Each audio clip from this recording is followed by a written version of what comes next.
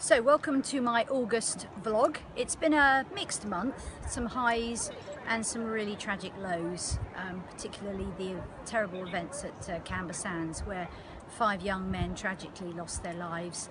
Having to uh, speak to media and uh, also the um, Sri Lankan High Commissioner that evening was really difficult um, and difficult time for families and friends and obviously all our thoughts and prayers go out to those that have lost their loved ones at this time.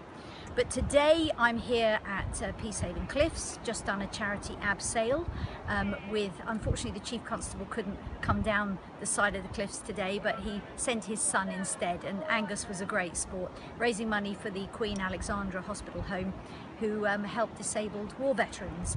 It's also been quite a busy month for me because I've been travelling around different departments across Sussex Police as well.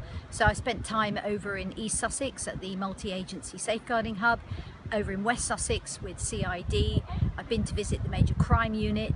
Um, I've been around the contact centre as well and uh, even up to Gatwick Airport working, seeing the officers there working with the dogs and, and how they behave with travellers uh, that come in and out of the airport.